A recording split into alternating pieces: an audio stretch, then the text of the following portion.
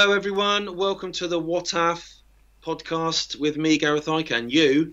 Richard of the Willet. Yes. Um, what I like is that we've basically developed a uniform now. A lumberjack theme. Yeah. yeah, we should have phoned ahead. I feel like a bridesmaid. Yeah. You're wearing you're wearing the same outfit, and it's like, ugh, neither of us are the bride. Absolutely. But we're going to get drunk and we're going to mess it all up for everyone. So, Oh, I'm shagging the best man. so am I. Whilst we, later on, Yeah, we'll yeah. schedule it in. Afterwards, afterwards, I'll go first. Yeah, I'll go do- first because I'm tired. Yeah, you get it out of the way first. But technically, I'm a few months older than you, so surely that's the way these things should go. What? So you go first. Yeah. You you go first, then I'll go on the dance floor and get drunk and teary, and then I'll it. come up afterwards. Yeah, Yeah. all right. After living on a prayer, that's your cue. Is it? Yep. Yeah. This this song's this is my song. One of those one of those moments. Yeah. Yeah, yeah. Everyone's really embarrassed. You Amazing. got your hand round and go, this says so much about my life. That- Yeah, yeah. And then I walk in carrying the bouquet, and because I've caught it, and the best man shits himself and legs it. and then someone's pissing in the clock. It's good. Good, good, good, good weddings. So what Never we got? to that wedding. What we got this week in in Clownland? Let's. Should we start with the Asda story? Have you got your dad's Yeah. website? Well, As- Asda are, are quite good anyway in terms of being annoying. So we spoke last time, I think, about the COVID marshals and the fact they're bringing in thousands of these COVID marshals to just stand there and go, "Have you got a mask, sir?"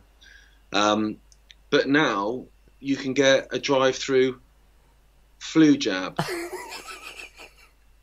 Do you know what I mean? Yeah. So you drive in, you do your shopping, fill up the car, and on the way out, you wind down the window and someone sticks a prick in it, which sounds a lot like dogging.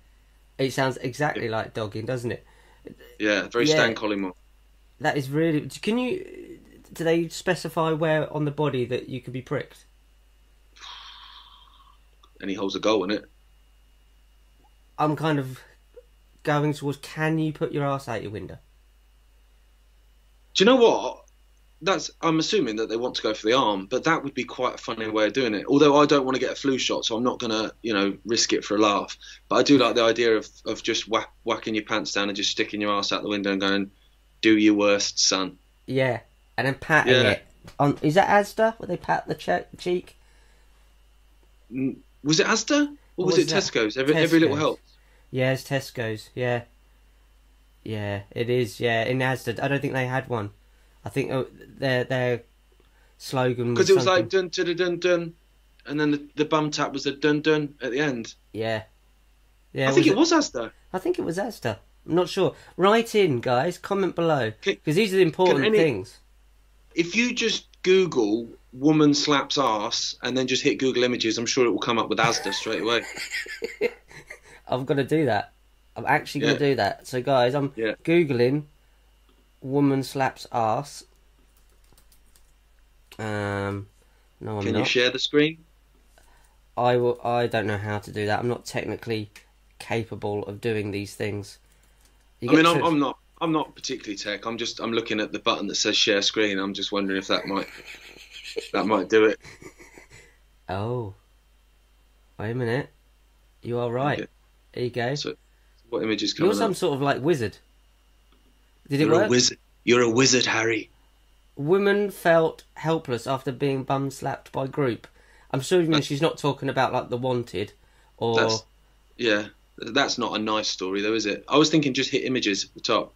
oh Yeah. Then I'm glad we're browse, dealing with- browser history. with, with the no no that's rubbish. They're, they're rubbish, it. aren't they? You've got a picture of a woman, a man, a woman smacking a child's bum, a kid who looks like he's on heroin, and a policewoman. And a police and a grab a woman, a man grabbing a waitress's ass. Bum. This is No, not what I was either hoping or expecting. it's research for you though, isn't it? Yeah, yeah, yeah. Should we read a Yeah, bit? let's read the story. Yeah, go on then. You. Supermarket Asda has launched a free NHS drive-through flu jab service for eligible people at 13 UK stores. I wonder where they are. Anyone entitled to free jabs, such as the elderly, frontline NHS workers, and pregnant women, can use the service. People regarded as non-vulnerable can get their flu jabs for eight quid. Bargain. Uh, which Asda claims is I've got something in front of that on my cream. Cheapest on the market. That's great, isn't it? Trying to outdo yourself with uh, with a flu jab. You're trying to un- undersell No. yourself with a flu jab. It's weird, isn't it? It's like it used to be like you know price check. Can you can you do a, a loaf of bread cheaper? Yeah. Yeah, but now yeah you can get a a, a suspicious concoction That for is, cheaper. that is It's a weird it's a, it's a weird world we live in, isn't it? It is a weird world we live in. Um, but that's the whole point of the What If podcast, isn't it? That it's very much what the actual fuck is happening. It gets worse each week, doesn't it? Did you? Did, who was this? Was it Cuomo that come out and did the mask thing outside that big building? Oh, Was that Cuomo? Jesus wept. I don't know who that was, but it made me literally want to set fire to my own face. He comes out of his house, he puts the mask on, That's it. the mu- the music's playing like it's like the fucking Dam Busters. Um, he puts the thing on and he goes like that, right? And he salutes like an empty car park Yeah. and turns around back into his house with his mask on. Amazing. Like, what does that even mean on any on any conceivable level other than you're a knobhead? Do you think they're trolling people now? Do you think they're just they're taking the hundred piss? percent, hundred percent trolling. Yeah. Yeah. Oh yeah, yeah. There, there's there's so much trolling going on.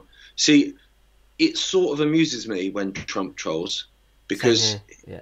he's so obviously trolling, and although I'm not a fan of Trump, his trolling does amuse me. Um, but yeah, the rest of them, they are just going right. Yeah, shall we? Let's let's just see what these idiots do. Like like with Italy yesterday, that's another what if. So it's the law now in Italy to wear a mask whenever you leave your house. Doesn't matter where you doesn't matter where you're going. Doesn't matter if you're going for a walk. Doesn't matter if you're climbing Mount Vesuvius. You have to have a mask on, even if you're nowhere near anyone. Amazing. Cheers for that. Um, and it were also it was also saying that actually people should probably think about whether or not they should be doing it in their own houses as well. Well, I've thought about it, and I think you're an idiot. Yeah.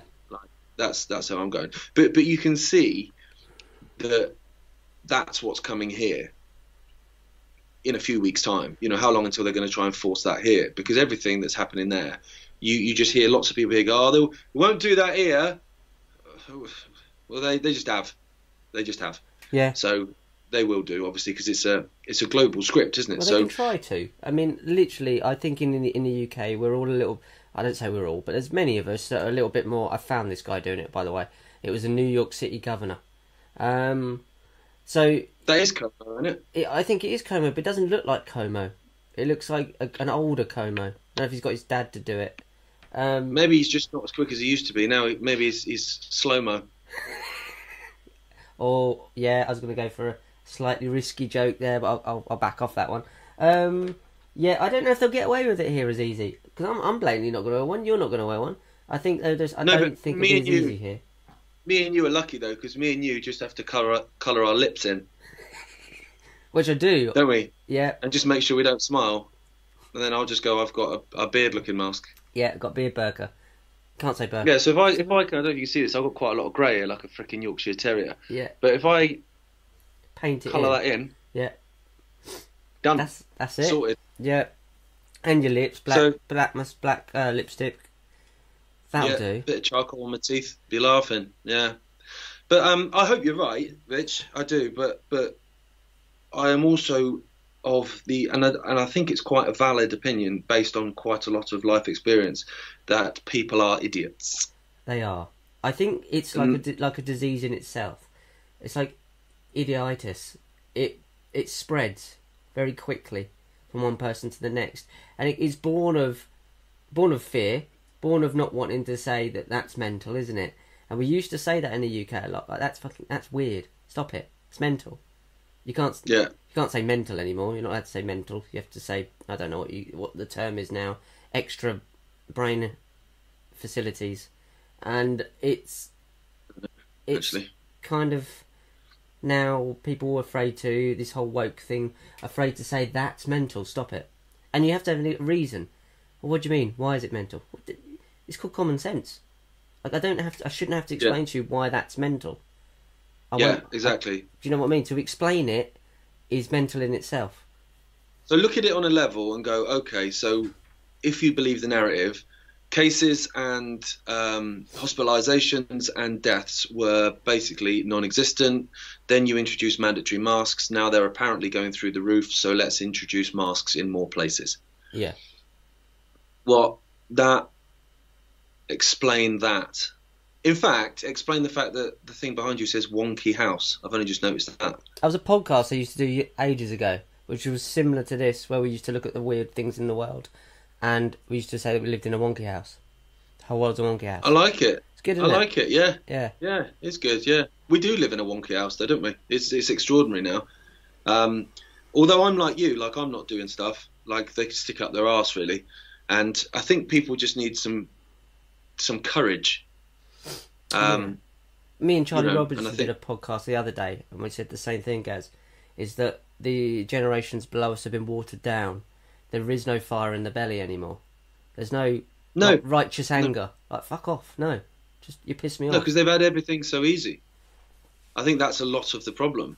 You know, they've not necessarily had things easy um, in the long run, and I think you will certainly find that out as they get older, psychologically destroyed. But at the same time, you know, younguns weren't. You know, they didn't have an outside toilet that they had to go to. Like we, we joked about that last week. Like they didn't have these things that they these challenges and stuff like that.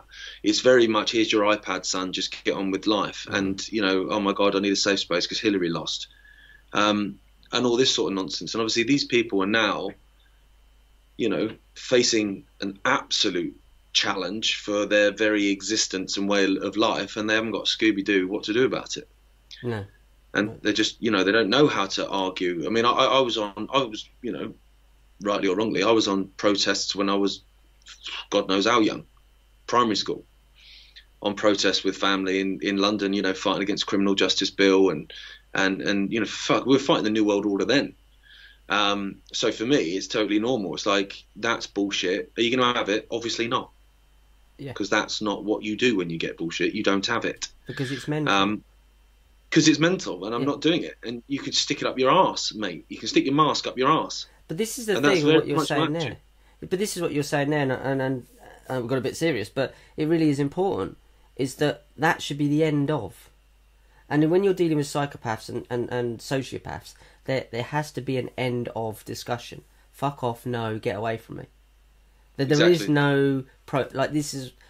I, I, see what people are doing at the protests. I totally agree with the protests. I think that was fantastic what everybody's been doing, and I've, uh, and all of these declarations have been sent um, put forward. But it goes to show that these psychopaths will only understand, possibly, being dragged out of there, forced out of there, because they're psychopaths and there's no reasoning with these people. They're not playing our games. They're not playing by the rules they set out. So, No. like, if you say "fuck off," no, I'm not having it. Fuck off, no. That is a powerful thing. No, fuck off. Leave me alone. That that kind of has Yeah. to come back, I think, in people now because we're well, lost I, without I, it. I'm, I'm at that. I'm at that point now. I'm angry now. Like I'm angry now, and um, and so you know, like I, I would very much reason with people. I mean, granted, no one's been hassling me anyway, but like I'll just walk into a shop and no one says anything. Um, but I mean, I got challenged once on a boat, and I just carried on walking, and that was done. But um, so okay, I haven't, but I've had conversations with people. It's gonna blah, blah, blah, and I, I end up reasoning with them, like kind of like, look, this is why, this is this, this is that. You need to look at this study, this and that, this that, and and some of them fine, but most of them aren't arguing in good faith anyway. They're never going to go away and actually Yeah. look at stuff and then come back and go, actually, fair point. They're not going to do that. So exactly the attitude now. If I get challenged now, I'm not going to start talking to someone about the PCR test. I'm just going to tell them to fuck off. And um, a friend of mine, Matt, he did that on the first day that it became mandatory. I mean, granted, he's a big lad, but he said he was stood in a queue for a shop, and a guy turned around, a guy, some guy in his forties, and was like, "Where's your mask?" So I was like, "So what did you say to him?" And he was like, "I said, don't fucking talk to me." And I went, "Right, so what then what happened?" He went, "The guy just sort of turned around, done." I was like, yeah, it has Done. to be. Yeah. done. You know, and that's sort of. How I think we're almost at that point now where you do you, hun, right? But don't talk to me, don't come near me, don't look at me. I'm done. I'm Yeah. not having it. And don't don't feel like you have the right to ask me these things. Don't feel you have the right to come along and say, "Why aren't you doing this? Why aren't you doing that?" None of your fucking business, son. Basically, absolutely none of your fucking business. And step back because I'm angry. And ang- an anger, righteous anger. It's good anger. It's anger to protect yourself. And as I say, I don't think these young kids now have that in them. They're too worried about being angry, looking angry. Oh, you're getting angry. Of course, I'm bloody getting angry. I'm supposed to. I'm meant to. Yeah. As protective. Well, they, myself. well, they, they're told to, they they get angry when they're told to be angry about stuff that they don't understand. well, yeah, that's a good point. You know, so someone misgendered someone, so yeah, get angry about that, but have your entire future destroyed. That's don't worry about it. So this is where we're, Don't worry we're, about it. we're at with that what if. It's like the things they're getting angry about, they don't make sense either. And usually they don't affect them personally. It's like a project, projective anger. So they'll get angry about that, Black Lives Matter and stuff, and Extinction Rebellion without looking into any of this stuff. But they won't get angry about them having to force their kids to wear a mask or them wearing a mask on a bus where they can't breathe properly or they can't, they feel like shit. That's affecting No. them. And it's almost like this greater good, isn't it? Brave New World thing. What are you doing Oh yeah, yeah, yeah, to yeah. help me? What, what, yeah, what are you doing for the party? Like you know, party. yeah, 1984 job. Yeah, fuck the party, exactly. But that's that's another what if actually, because obviously you brought up the sort of you know the Black Lives Matter Extinction Rebellion thing. So Sainsbury's this week are a what if. So obviously Sainsbury's and um, Argos, which I think are now the same company. I think Argos are owned by Sainsbury's anyway. Um, Right. Their non-white staff are given safe spaces away from the white staff. no. So yeah, do you not see that? I, I, Yeah, that's yeah, the first yeah, yeah. heard of this. Yeah, so so obviously, so you know, so they can you know talk about their oppression and stuff like that, and you know they don't have to have the threat of having white people involved, and obviously it's been called out across the board by lots of black people that not only find it you know outrageous um, in terms of division, but also massively racist and defensive. Um, I know plenty of people that are not white, and I don't know a single one of them that needs a fucking safe space. These aren't weak people. No. Um, and I guarantee, you know, I bet, I, so I put on Twitter, I bet my weird left bollock, because everyone's got a weird left bollock, it sort of, it sort of just hides away from the right one for some reason. Shy. Um, I, yeah, I, I, um, hush, hush, how do I? But, but my weird left bollock, I bet that, that whoever came up with that bizarre policy, virtue signaling, attention seeking policy, it would be a white person that done it oh yeah. hundred percent. You know, and and it's just like, in what world are we living now, where that's a thing, and and you know that not only is it a thing, like, but it but it's not a thing in like, in one particular corner shop or cafe in like Hampstead Heath. It's in freaking Sainsbury's, which I don't know how many Sainsbury's there are across Britain, but would it be thousands? Oh, I It's certainly. Thousands, it's- yeah. it's Yeah. got to be. It's got to be. There's, there's probably about eight in Derby yeah. if not more, um, in in Derby and, and the surrounding areas. So yeah, at least the high hundreds in the country, and um, and that policy is, is being implemented throughout that. I mean, this is insanity. It is that's that. That's isn't it? that's like, Yeah. you you can imagine working there. So you go into the staff room. Oh man, my legs are aching. Oh man, I've been fucking on my feet for fucking eight hours. Can I sit down? Sorry, mate. You're white and we're having a conversation. Oh, Yeah. do you know what I mean? If it, if it was me, I'd sit down, go, shut up, and sit down and go, oh, and rest my legs. But you know, people in fear of being like, I'm a racist, will just go, all right, sorry. And and you know, and it's like, what? That's racist, isn't it? You've just created course it is. segregation. Yeah. Uh, didn't we fight segregation? Wasn't that something that was bad and people sort of got rid of it? Did that happen, or did I, or, or I just totally misremembered? Like, You'd have thought so. You'd, even the fact we had to fight it in the first place is mad. It is. It's. It's gone backwards, massively. Yeah. so the whole it's- world's it's- gone backwards. It's, it's extraordinary. Like, was Rosa Parks a thing, or do you know what I mean? Did she exist, or did that? Did I just imagine that as well? Because that's where we're heading. Yeah. Oh yeah, definitely. I mean, you're going in there, and I'm saying to you, we, we were having a conversation. And you're going, but are you talking about black stuff? Like, what are you talking about? Like, do you Well, have to be having a conversation about whatever that might mean? I don't really understand what the subject matter is. Do they have their own rooms, or just like a little, like a cornered off area with some traffic cones? Oh yeah, don't come in this area. But I, I, I can't remember actually. But I think it was it was just saying that they would have a safe space where they could converse and talk about basically their oppression because white man bad. Um, and I'm thinking, like, looking at this, okay, you're all working at Sainsbury's, you're all on minimum wage. It doesn't really matter what colour, what sexuality, whatever you are.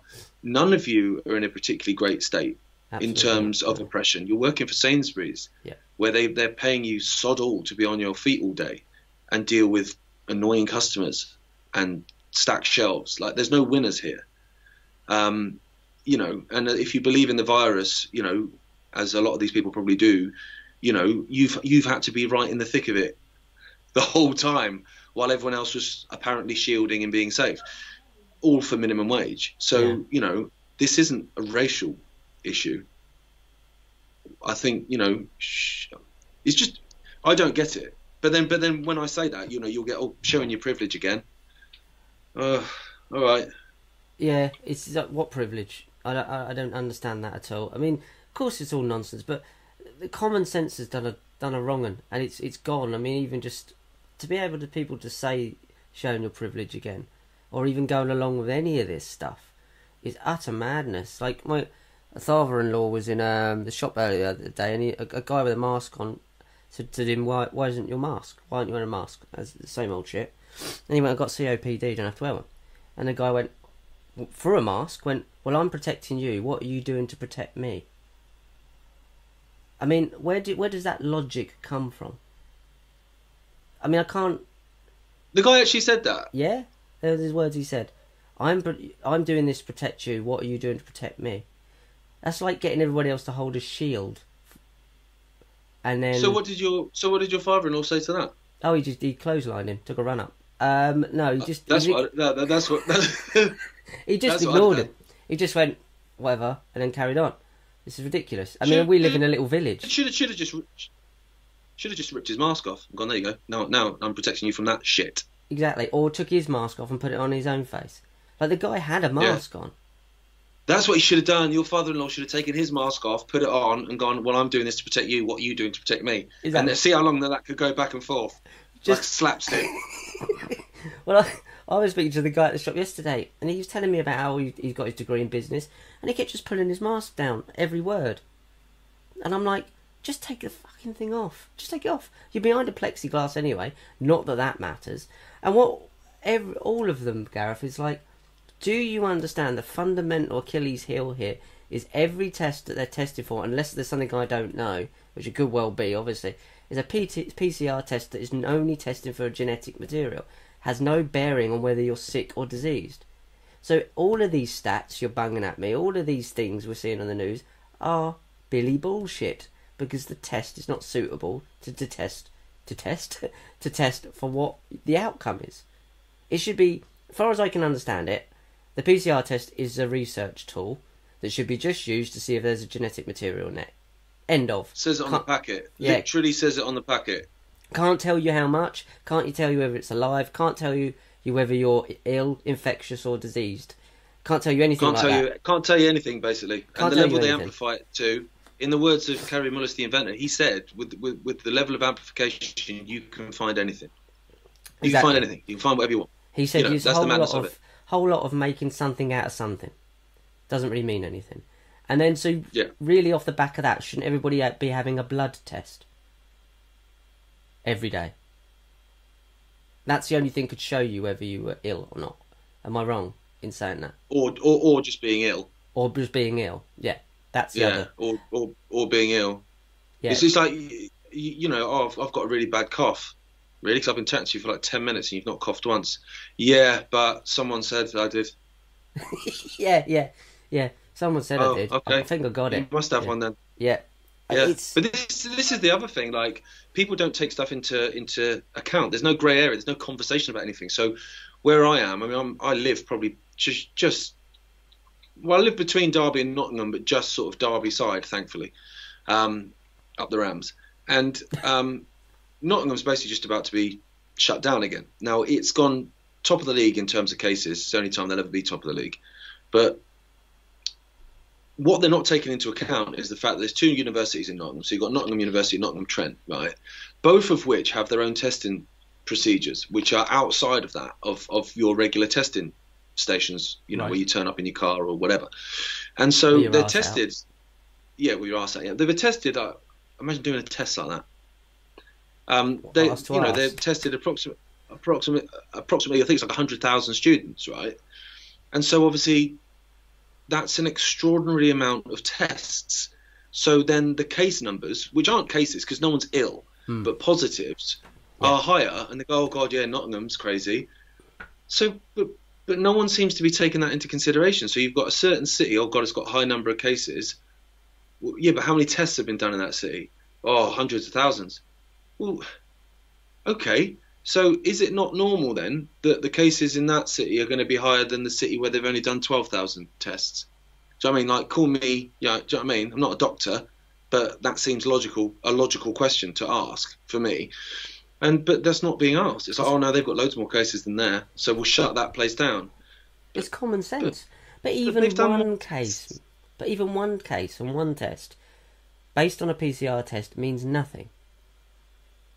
No, it doesn't. And the other thing is as well, like, because I keep seeing this, like, oh yeah, but it's not just deaths, like hospitalizations are up now as well. And you go, okay, well let's have a look at how that works then. Okay, so now when you go into hospital, doesn't matter what you're in hospital for, what you go there for, you know, whether it's because you clotheslined the Musketeer in Tesco's, Yeah.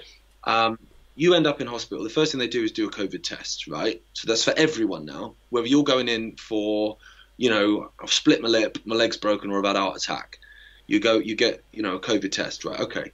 So then that comes back as a positive because of the ridiculous PCR test anyway. So say you get a positive, you know, you're now a COVID hospitalization. Yeah. That's how that's that shows on the statistics. So people go, oh, hang on, how many people are in hospital with COVID? Oh my God, that many are in hospital with COVID. No, he's in hospital because his leg fell off. Yeah. That's why he's in hospital. Yeah. Um, but he's oh yeah, but it's COVID case. So people are going, oh well, hospital, you know. So because in the mind, when when someone says to you, COVID hospital admissions are up, I think someone's got symptoms of COVID, they've gone to hospital. Exactly. That's what you're meant to think. Yeah. But then when you look at it and you go, well, actually, that's not the case. So if I stepped out of the office and I got run over and I got taken to hospital, things stuck up my nose, tested positive, oh my God, Gareth's been rushed to hospital with COVID. No, he hasn't.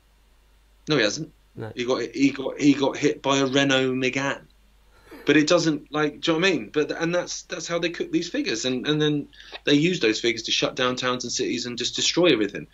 And it's so frustrating to watch because there's no critical thought going on, and you just want to say to the knobhead in in in the shop, you know, do you know this? And then when you have this conversation with these people, it's like rubbish. Of course he like, He won't know What what mean a PCR rubbish? test is. He wouldn't have a clue what the PCR test is. He wouldn't have a clue what he's been tested for, how he's been tested, what it actually means. He wouldn't have a clue. And if you got 15 minutes to stand there and try to speak to him while you're trying to buy, buy a packet of like, like uh, custard creams, you just think, I can't be bothered. I can't be bothered. He's not going to understand it. Like I'm going to have to literally stand here for 15 minutes, and then he's going to go, "What you doing to protect me?" Like I'm trying to tell you the truth. That's what I'm trying Yeah. to do. I'm trying to tell you that the very fundamentals, the very cornerstone of this narrative is bullshit. I'm not saying that there isn't a, a nasty cold out there. I'm not saying that. I don't know. But what I'm saying is the test won't tell you whether it is or not, or what it is or not. So the fundamentals of all of these numbers and all of this data is bullshit. It's going to be bullshit every time you test. It's not going to tell you what you need to know from the test. The test isn't faulty, the test is just not applicable for what it's being used for. And you said, and I said, I think we both said this, isn't it funny that they waited to, for Kary Mullis to just pop his clogs last October, August, before they started using his November. test? Was it November? Died in November. Yeah, yeah, good timing. good timing, isn't it? Yeah, good timing. So we'll use his test because you, put all these things together and call me a conspiracy theorist. I'd love it. There's a lot. This is ridiculous. We're getting the COVID. Everything your dad's been talking about. Everything we've been talking about. COVID passports now in Ireland. Have you seen them ones? Yeah, yeah, yeah. Well, Yeah. United Airlines are using them in the UK. So obviously, I know United are an American airline, but in their flights to UK, they're they're, they're having they're going to be using these COVID passports, you know. And it's it's, it's the scam. It's, it was always the scam, and it was it was always the plan for it to be everywhere. You know, do you know what I mean? And I tell you what's funny is like, you know, all these protests have been on. I've been all over the country, tens of tens of thousands of people. Ain't no one got a sniffle Exactly. weird that lots of asymptomatic people and and the, and the other thing as well is like this. These these are another couple of what ifs. So you've got seven thousand scientists and medics have come out this week. Now I don't agree with the whole kind of shielding the elderly because I don't even think we need to do that. But but that's their thing. Okay, so shield the elderly, and you know let everyone else go back to living and going to the pub and go to watch football and living their lives because that's the whole point of life. And Hancock just dismisses them immediately. Yeah. Seven thousand scientists and medics. So, so you know, when people give it a bloody tinfoil hat, no, well, the scientists and medics. You want to, if you said follow the science the whole time, and then it's very much, yeah, but not that science. And so you want to follow Whitty and Vallance, who are on the payroll of Bill Gates, but you don't want to listen to these seven thousand people that are saying, look, guys, it's, it seems really odd to me. And the other thing um, was in France, they came out. Well, they came out a while ago and it didn't get a lot of press, and then they came out again. And what they were basically saying was that they had tested again PCR test. They had tested bodies from like as far back as summer last year, right? Right. and they were testing they were testing positive for COVID. And again, it got zero coverage. Nothing. Don't want to look about. Look over there. Look, look, at that. There's there's a there's a um, is that a raccoon? There's a raccoon there on, on the doorstep. Can you see it? Yeah. Yeah. And you're like, no, I was looking at this story about France. Oh, look at the raccoon. Yeah. All right, mate. Um, it's very much like that. So, but I look at that in, in two ways. So, okay, in terms of the narrative at least, if they're getting positive COVID cases from bodies from August and July last year, so a year ago, okay, either A, there is no COVID, and this is the whole freaking point, and the fact that the PCR test is going to pick this up on everyone, Hmm. and if you dug up, you know, even more people from even longer before, they would test positive as well because this test isn't testing for COVID 19 anyway. That's the Right. good thing. So that's what- Maybe we should do that. That's Start what- going digging people up that have passed away from a year ago, and have a little. And just No. explain that. Yeah, just explain that to the church warden when he comes out. It's fine. It's for a podcast. I didn't mean me and you, to be fair, because I'm pretty busy. But I mean, I want to get. I want. Um, I like to be more hands-on, if I'm honest. But that. But that's option A. So you know, you can look at that and go, well, actually, that just shows the test is going to find COVID in everyone, even going back like way back. So this whole kind of fa- you know pandemic hoax is is is you know a scam. But the other one, then, even if you believe in the virus and you believe in the new virus and all that kind of stuff, is okay. So this virus then was in France in the summer. So if it was in France in the summer, it didn't come from bat soup in Wuhan Hmm. in November, December. So your whole narrative is out the window. It also means by that point it must have actually gone worldwide, in which case everyone's freaking had it, in which case everyone's all right, it's not got a crazy death. Right, let's go back, open the pubs, let's go back to life. So either one of those scenarios kills the narrative, hence why look at the raccoon. yeah, yeah, yeah. And there's a lot of look at the raccoon moments, isn't there, at the moment as well? Um, Everywhere, mate. everywhere. Let's have a look. Bear with me. Um, let's have a look at this um, chubby funster. BBC's three hundred and ninety thousand pound a year. Stephen Nolan, not one of the Nolan um, sisters, one of the most utterly He might have ate one of the Nolan sisters, though. it whole in one breath. Um, Like he a chases snake. a man for he chases a man for not wearing a mask. Now, this is one of the most morbidly obese people you'd probably see for a while. Chasing someone down the street, shouting at them, "Why are you not wearing a mask?" As they came out of a supermarket, I believe. Now, what the It was a what uh, is petrol going on there? Oh, was it okay? Yeah, I just spoke to my dad about that actually this morning, and I, I said that, and the first thing I noticed was the fact that Stephen Nolan's wearing a track, that- a tracksuit that's blatantly never seen a track, um, and and the other thing is the fact that he's clearly not worried about his health or health in general. The guy is is, is about six or seven stone overweight, Absolutely. um, you know, and that's like some someone will say stop being fattest. It's like I'm not fattest, he's fattest. He's the, he's the fattest. Boom! That was a Jimmy Carr one. That Yeah. Uh, I'm not even a fan of Jimmy Carr, but there you go. But um, but yeah, he's not a particularly nice guy, um, Stephen Nolan, and um, you know he's BBC to his DNA, a narrative manager, and yeah, uh, you know what are you doing for your three hundred ninety thousand pounds a year of license fee money? I'm standing in you know Texaco forecourt Yeah. waiting for a lad to come out who's not got a mask on. Now, you don't know why he's not got a mask on. Exactly. Surely You know nothing. You know nothing about him. Yeah, you know nothing about him. You don't know his mental ability, um, disabilities, if any. You don't know his physical disabilities. Yeah. You don't know that the guy's, you know, not uh, suffered with asbestosis or whatever, you know, what I mean, or or an insanely uh, depleted VO2 max lung capacity. You don't know anything about this guy, right? you just know that he's paid for some petrol. And you, with your camera crew and your and your big fat microphone, you're going to stick Mm. it in his face and shout at him for not wearing a mic. You know, what is that about? Also, you know what I mean? just, like regardless of all of that stuff, on top of it, which could set him up for a nine thousand pound fine, by the way, is I hope it does. it's just fucking rude. Yeah, it is. It, well, he thinks he thinks he's the cook reporter, doesn't he? Cook is probably. Do you know what I mean? He, he- thinks he's Louis Theroux, but Wow. um, but but it's it's the joke of it. And you think about it as a, as an analogy, it's it's the equivalent of like you know, someone was waiting outside a lift, and then someone sort of walking out the lift, and you go, "Why didn't you take the stairs? You don't look disabled."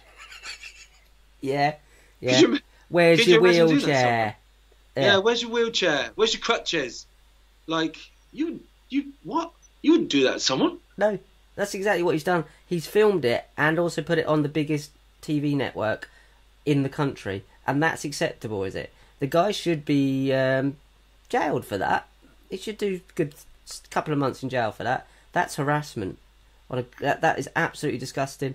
But and then on top of that, he's morbidly obese and clearly doesn't care about his own health. If he come out and he's got what you doing to help, he's the type, isn't he, to put the mask on and going, "What you doing to protect me?"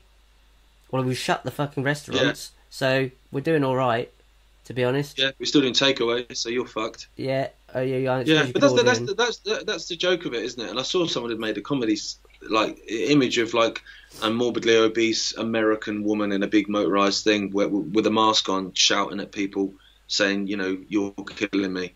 It's like, nah, No. nah. If, if you're that bothered, if you're that worried about health, do you know what I mean? You've you, you've been locked down for six, seven months. You've had plenty of time to try and you know, because that's what I do.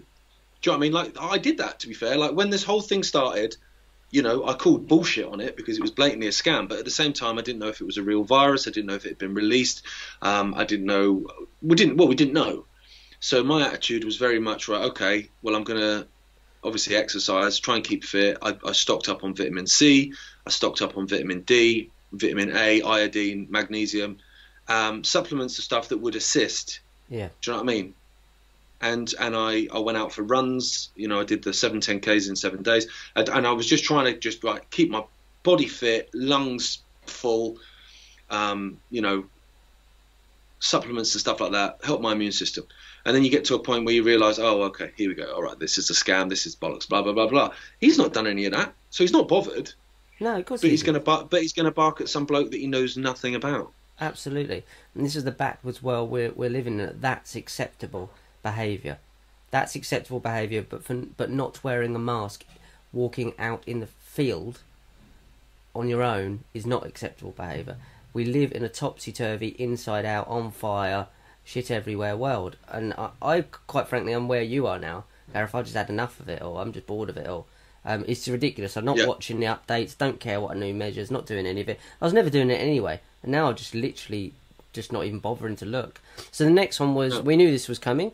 Army on the streets of Birmingham. We didn't know it was Birmingham. We weren't that that that specific.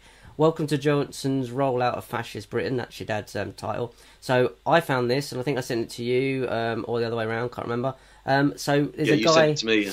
There's a guy chasing um, a couple of. They look like kids, to be fair. They don't. When you say They army, kids. you think Kids in fancy dress. Yeah. yeah, you think army, you think RoboCop with um loads of guns hanging off him. You know, it's not that. They're kids with military gear on, walking up and down the street, knocking on doors, offering free PCR, useless COVID test, door to door. Yeah. The guy Yeah. chases him down the street.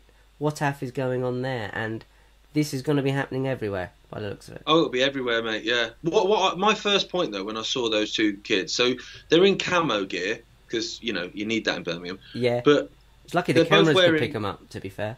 they're both wearing high vis vests on top of the camo gear.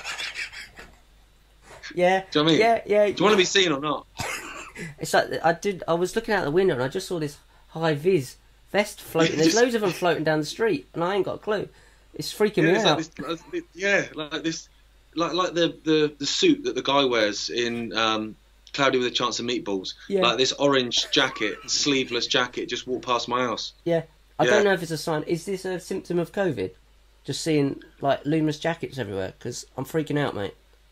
Yeah, yeah, maybe. Uh, a symptom of COVID is that your arms and legs disappear. They'll go. They'll use that. So these Yeah. these kids were doing that, and then there were some older guys there, and he kind of basically this guy in Birmingham chased them back onto the bus, which was quite humorous, really. Um, weird times, isn't it? It is weird times, mate. It's very, very weird times.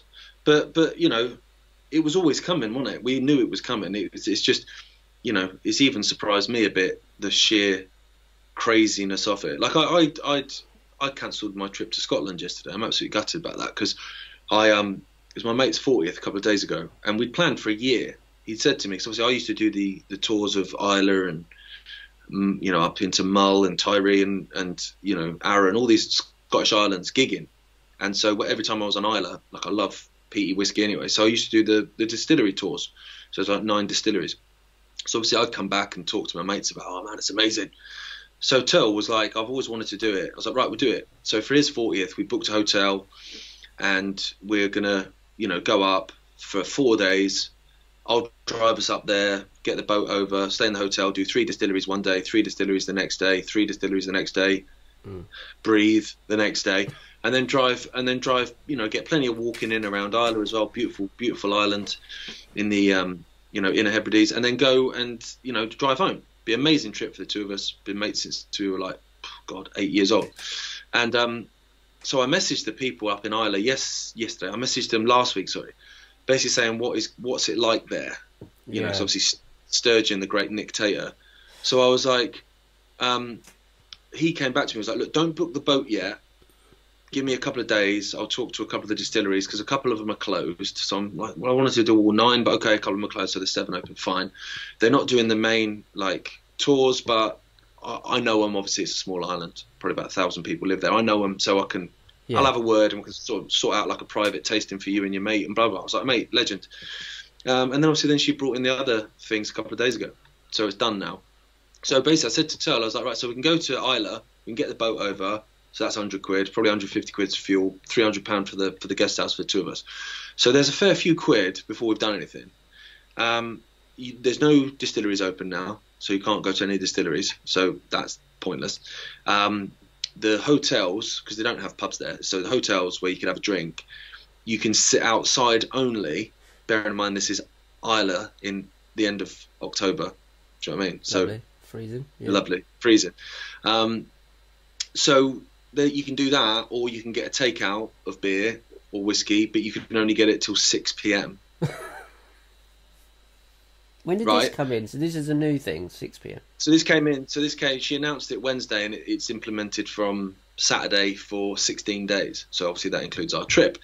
So I said to him, I said, mate, I'll be honest with you. Like, if you want to go to Islay for the views, and we can hop over to Jura, we'll take a drive to, you know, where George Orwell wrote 1984 and all that stuff. We, we can still do that. Like, that's fine. But it'll basically be a case of loading up the car with beer from England and whiskey from, you know, Morrison's, Mm. and driving it up there and trying to do our best. And so he was like, well, it's a lot of money and blah blah. So we're going to try and do it again next year. So I'm just going to drive down to him um, in Hampshire, and we're just going to basically I've ordered some kegs of beer from my local brewery, and we're just going to go out walking around the South Downs and stuff and do that as mates drinking beer. Yeah. But it's not the it's not the whiskey trip we were meant to do.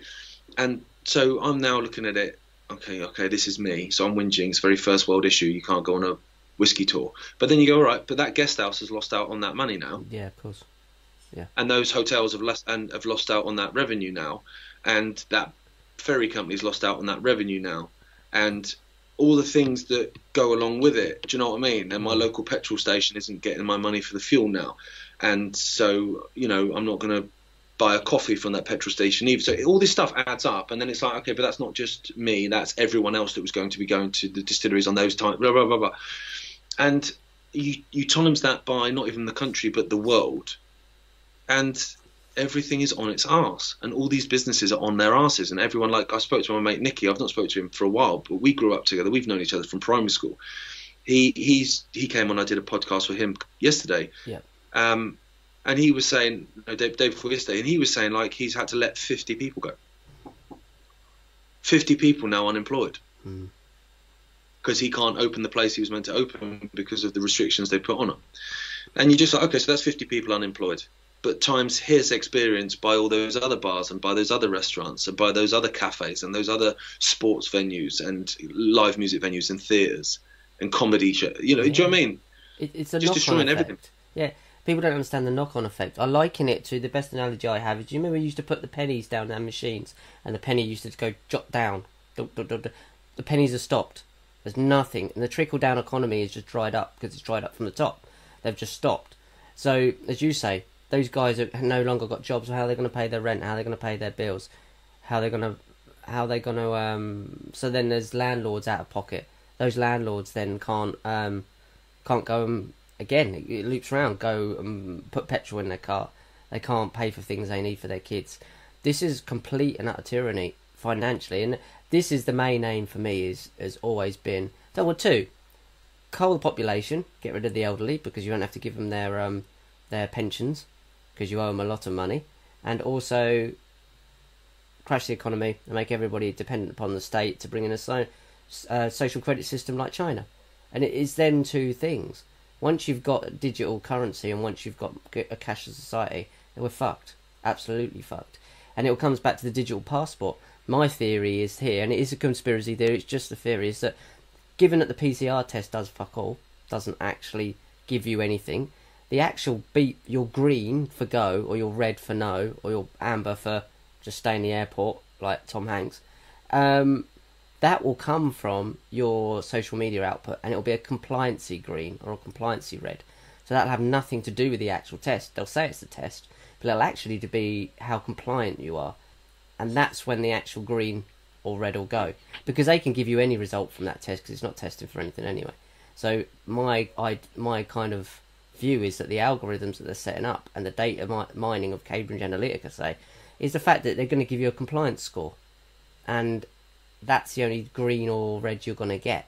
That's just a theory, but it yeah, I, I, isn't I, coming from but, a test, but, is it? But no, it's not. And but that's what they do in China. That's what the credit system is in China.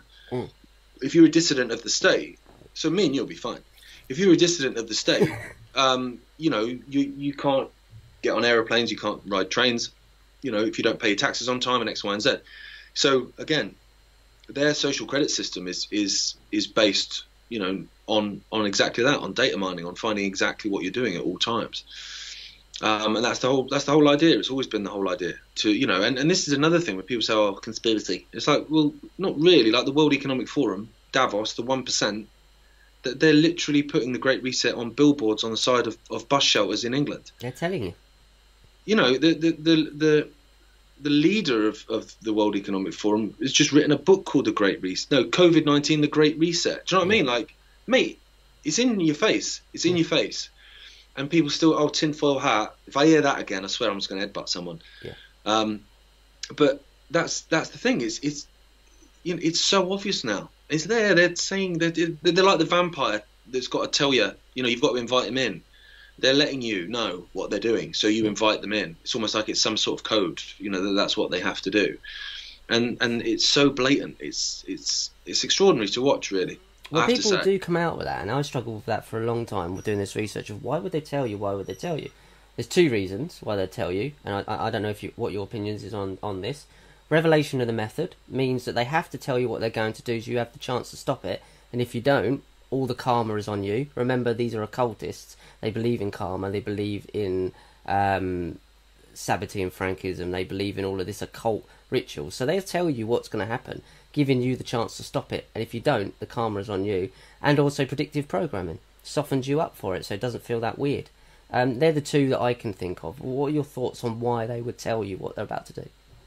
I think I think exactly those two. I think there is an occult thing. I think you know the vampire is is, is an example of that, where in in the tales of, of vampires, you they can't cross the threshold unless they're invited, right. and then once they're invited in, obviously you know they can rip your neck off. Um, so there's no rules in tearing your face to bits, but you have to invite them in first. There is sort of some kind of, you know, honor among thieves in that sense. Mm. Another bit is, like you say, the predictive programming, and that's been so obvious. I mean, we were talking probably April, May about the cancellation of Christmas, and at the time people were going, "Oh, shut up," and now it's like, yeah, they're cancelling Christmas, mate, and they and they're doing it in such a way that they're pretending that they don't want to do it. Yeah. But like I saw, I saw a, a poll, a fake Shut poll that that. Sky Sky News put out today, where Sky News Sky News was saying that um, the the majority of Britons support the cancellation of Christmas and staying away from family at Christmas. Why would you you- support that? Well, you don't support it; it's nonsense. But what it is is it's Right. it's it's a compliancy drill. So it's a case of you know people are too frightened to step out of the box. So if they see a poll that says you know 75% or 80% of Britain support it, then well, well, do you want to be in the uh, 20% outcast or do you want to be in the? Oh no, no, I'll be with the 80. Yeah, yeah, yeah. Cancel Christmas, it's fine. I'll just you know masturbate into a gym sock rather than spend time with my family. What what I should be doing. You know, so again, there's that predictive programming. And another bit, I think a third one, going back to um, what we were talking about earlier, is that they're trolling us. Yeah, You know, it's almost like, you know, the, the torture of a victim where you're just almost, you know, you're playing a little bit with them. You're just toying with them a bit. Do you know what I mean? Taking the piss. Yeah. Tell you that, yeah, you know, I've opened the window for you to get out, safe in the knowledge that they're bloody hogtied and they can't get out. absolutely. Um, and there's a little bit of that, I think, as well, of Yeah. just trolling the population. Someone else mentioned that in a podcast a couple of days ago. I think it was Charlie Robinson. There was a term for it. Forget what it is now. But they like to uh, show you what they're doing. They get a kick out of it. They get a kick out of going, "I've got one over you." And I know, and you doing this this sort of research that we both do, and you've been doing it a lot longer than I have. There's lots of people like that in this industry. There's alternative media as well. They like to come in, cause trouble, and then kind of hint that they're causing trouble. Uh, Before we go, well, what uh, we've seen a lot of like controlled narratives, I think, at the moment, and a lot of people going into even things like like the um, stand up X protests and that lot. You've seen a lot of things going in on there that are very very strange, including that woman who got knocked off the chair that got knocked off the got knocked over twice. The first time you've watched the video, she blatantly throws herself into the police officer. The second time, she looks like she's been sucker punched, but then ten minutes later she's doing an interview. If you're an elderly lady, and then you can tell from the video she's not an elderly lady. She's in her fifties. She's not elderly as she's kind of assumed to be from the dress up. There's all sorts of weird shit going on, isn't there, at the moment?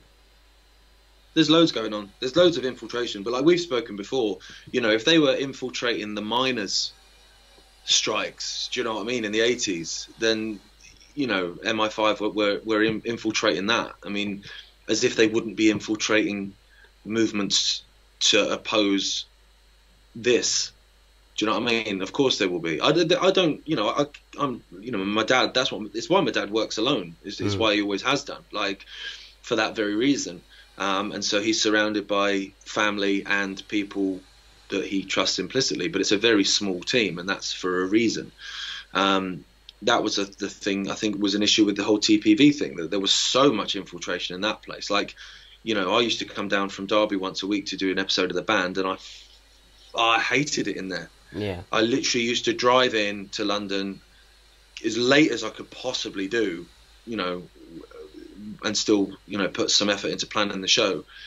Um, do the show, and people would go out for a beer, and I was straight in the car and out, and home to Derby, and I wouldn't get home till like one in the morning or whatever. But I felt I hated it there. I hated the atmosphere there. I could I could just see infiltration left, right, and centre. Mm. Uh, you know, I like to think I'm quite perceptive in that sense of you know smelling a rat, and yeah, there's lots of that. There's lots of that going on with all this stuff. Like you know, supposed to be doing a protest in Canada next weekend, right. uh, but obviously not not in Canada, but obviously done uh, online. So I'll be giving a speech, and so will my dad, and getting emails left, right, and centre where people are in fighting there, and there's been an infiltration thing, so people are stepping away, and it's just like, mate, we were supposed, you know, come on, Yeah, I think we we need to be careful not to throw the baby out the bathwater. Like um, this this um, declaration that went into the uh, you t- you mentioned it earlier into the House of Parliament. They just brushed it aside. There's a few nefarious characters there as well that can be linked, but that doesn't mean the seven thousand scientists that have signed it are all nefarious. You, you just can't throw the baby out the bathwater because you've got a couple of people or a group of people causing trouble at the stand e- stand up X things. Doesn't mean you can throw the whole thing aside and say it's it's all. Do you know what I mean? It's all sullied. no, no, of course it- not. No. This is You the whole point. need- That's just- why they do it. Oh, absolutely. Pe- people just need to be smart um, and streetwise and do what they know to be right and feel to be right at the time and not just sort of go along. Because I think a lot of people do that. Like they get on, on a wave of something, whether it's a protest movement or whatever, and they just sort of flow along with it, where they they, they don't have control then. And I'm very much kind of nah, I'll do this and I'll do that and I'll do this and I'll do that, but it's it's on my terms. I mean, Yeah. it's mainly on my terms because I've got a two-year-old, but it's on my terms, and I'll do X, Y, and Z. I will write my speech. I don't send my speeches to anyone to be approved before I do it. Like none of that is happening. And if you still want me to speak with me dictating how I'm going to do it, like I'm not dictating what anyone else is going to do. Do you know what I mean? I'm mm. not a nasty bastard, but on what I'm going to do. If then I can't do that, then I'm not doing it then, and that's fine. And good luck to you. Like I hope it's amazing, but I'm out. And I think if if everyone does things in that sense, then you can't get coerced into doing stuff. You know, and you can't end up in a situation where you're like, oh, I didn't realise that he was 77th Brigade. It wouldn't matter because you didn't change anything on what anyone said anyway. You did what you wanted to do. Yeah. Um, I mean, I'm much like that with this Canada thing. Like, there's there's one in Toronto and there's one in Vancouver, so we're doing them both in a day. Now they wanted it live, so I was like, okay, what that would mean, with given the times of the speeches, for me, I would have to be in this studio uh, about half past eleven at night Right. to do the Vancouver one. Right? Now, that is doable. I don't want to do that, but that's doable. Whereas my dad would have to be at half 11 at night or 11 o'clock at night in his flat where he's got neighbours Yeah. giving giving a passionate speech live. Well, you can't do that. No. Can't do that. No, so, so we've gone back and just said, you know, we'll, we'll pre-record them. We'll, we'll do them properly, and you know, we'll use all decent camera equipment, and we'll make it mustard, and we'll send them across to you. Um, whether they're going to be happy with that is another thing. But if they're not, then I'm sorry that you're not. But you know, I think you need to dictate your own rules a bit. Yeah, you do. You need to have your own boundaries, and you guys know that better than any others, and especially in this sort of research that we do. Is it's you constantly having kind of thoughts of is this person trying to lead me down that way? Don't I get it all the time, Gaz? I get emails all the time, of it, mate. and all the time from people. And I'm no like I'm a no. I'm not to my family. I'm a boy, but I'm no one in this industry in a sense. No one really knows who I am. But they, if I get that, I can't imagine what you guys get. Let's go back, but just before we go, let's just have another what if moment. This is probably the what if of the week, and that's the theme we can have. Um, ludicrous agenda serving Gucci selling two thousand six hundred pound dollar tartan dress for men to continue demasculated about a two thousand six hundred dollar dress tartan dress. I mean, we could I could pull that off. You could probably pull that off.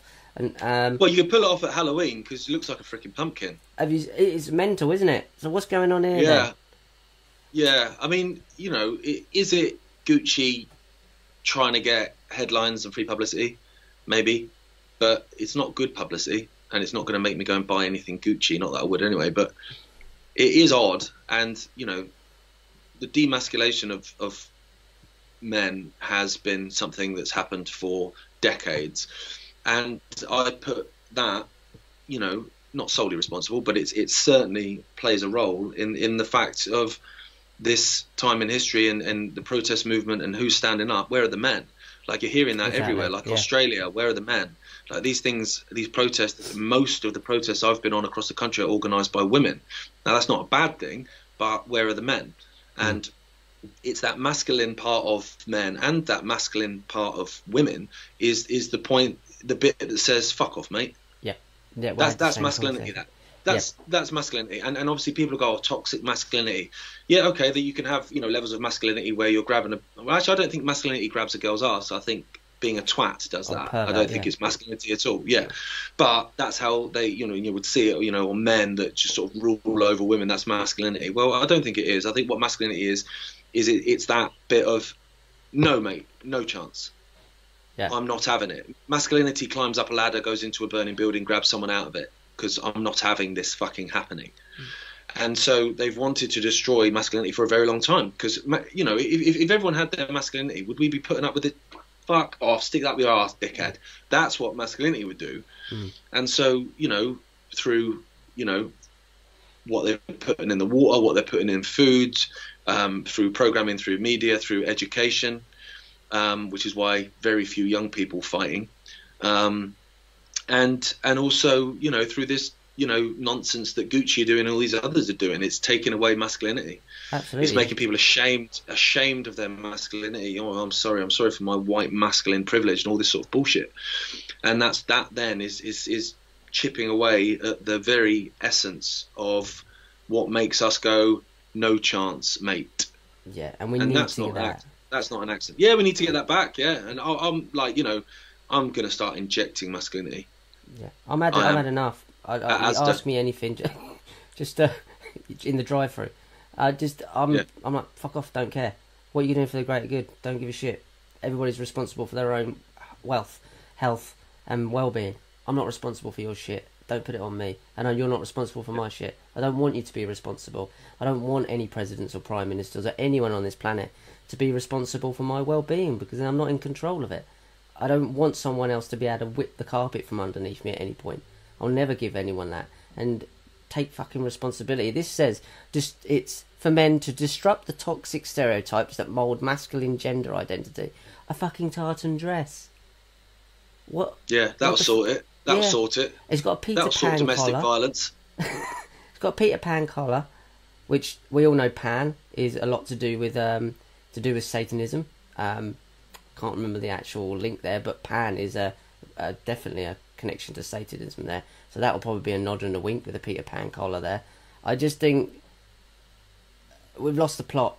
We need to get back some fire in our belly and, and a fire under our ass, and we really need that now.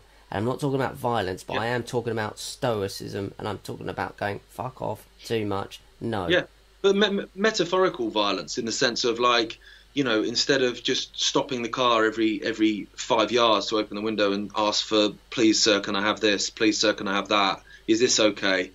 Just I'm at a point now where I've, you know, I'm putting my foot down and, and the window wipers on. Yeah. And I'm having it because we have to do that. we really and do. so that's my that that's my attitude. But in terms of anger, like you know, oh, love and light, fuck off with your love and light. Like I don't have a problem with anger if it's channeled right.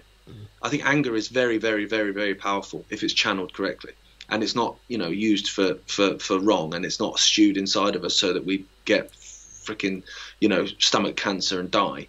It's you know no, let's channel this anger and let's aim it at where it needs to be aimed, and let's do this. yeah, what they're doing with um, Black Lives Matter and Extinction Rebellion is that they're knowing that these young kids are are angry, and then they're using it, co-opting that anger and putting it into a direction that suits them, which is only going to make them more angry in the end. Gareth, we've done an hour. That's been What Af, episode two. Yes, mate. I just did a weird thing with my hands. It's not not sort of some sort of symbol. Did you Um, do did you do like a west a west side thing? I think so, but a little bit more arthritic. But yeah, But you're east side, surely, aren't you? sunny side. In up. Norwich. Yeah, I think we're In east side. Norwich? We're on the east coast. In, I'm not in Norwich. I'm on Ca- I'm in Caister. On the on on, on the uh, near Norwich, to be fair. Right, guys. How near? Um, 45 minutes Okay. in a car. It's a nice part of the world, though, where you live. It's a beautiful part of the world. I'm really lucky to live here, and I've said this to Sam, my partner, recently.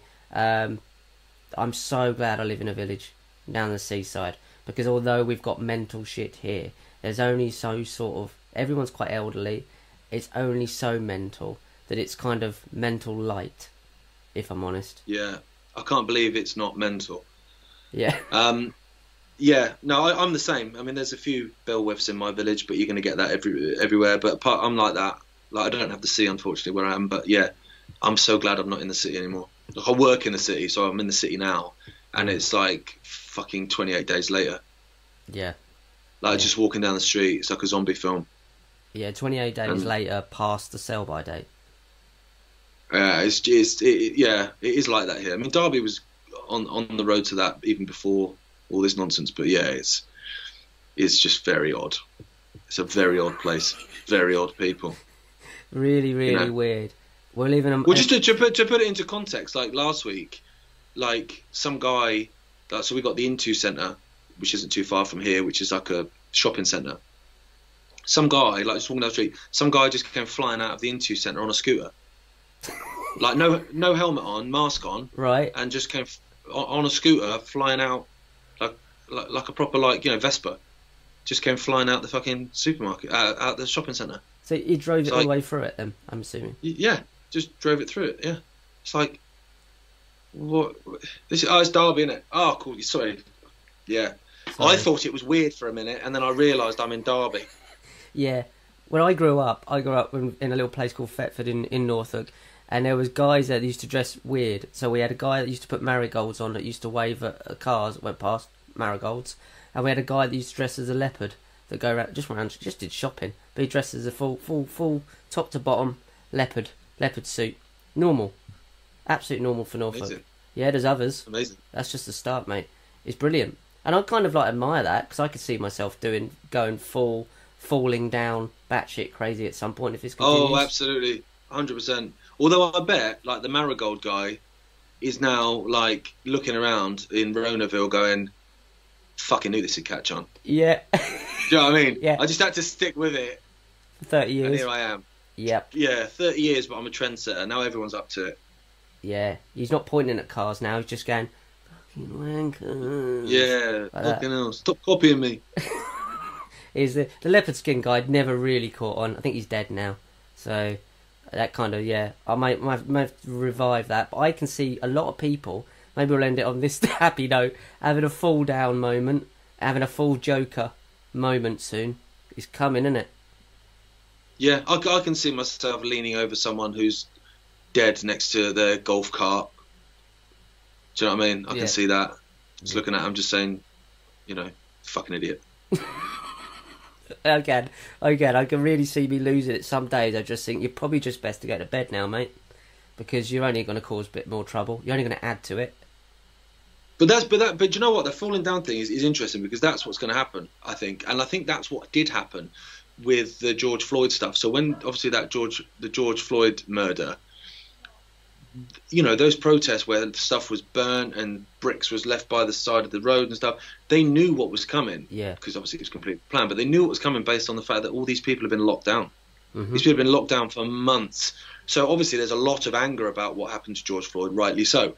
But also there's all the other anger with the I've been stuck in my fucking house, I've been away from my family, I've lost my job, I've lost everything. Blah. And it was almost like a way that the system, the establishment made such a huge thing about George Floyd. Bearing in mind people get murdered every single day by the police.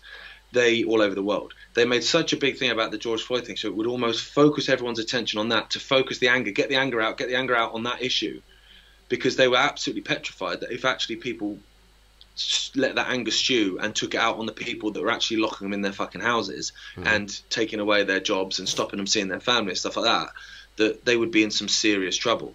So it, almost feels to me like that was a bit of a, a, a purpose, a pur- purposeful sort of valve release. Yeah. Do you know what I mean? Of of, of people. Yeah, I Um, agree. Get You could look at this whole COVID thing like that. Look what was happening in France and China before this was happening. Before how Hong Kong, busy yeah. were those streets? Sorry, Hong Kong. How busy were those streets and those yellow pro- vest protests and everything? That suddenly just got swept away, didn't it? Could that just well, be yeah, it, just, it, it got made. It got made. It got it got made illegal. You know, and that's what they're trying to do here, aren't they? They're trying to ban protest, um, and that's the whole point. You know, make it illegal. and just use it use public health as as an absolute you know bullshit excuse But it doesn't matter. It's illegal. It's the whole fucking point, guys. yeah that's the whole point yeah It's been an hour. I know you got another podcast to do, Gaz. So um, i have mate yeah so Uh, yeah, what if, guys? This will be out on the Facebook page of Iconic. I'm not sure if it's going to go on Iconic's platform or not. Um, I'm not sure about that yet. I think it's going to go on the YouTube page. Um, so yeah, check it out on Iconic's Facebook page and my YouTube channel, and I- think it's going to go on their YouTube channel as well. So guys, second episode. I think we're going to try and do these every few weeks. Um, really enjoy this. We've got some great feedback. So everybody who's been watching this and sending stuff in have really, really enjoyed the light-hearted look at the mental weird shit going on. So, guys, comments below. Let us know any any things you want us to talk about, anything you want us to cover, anything you want to say, guys, before we go. bye. That's a good one. yeah. I, I i find that's often good at the end. Yeah, bye. Yeah. See you later. Bye. Off you pop. off your pop. Toodle pip oh, oh, oh.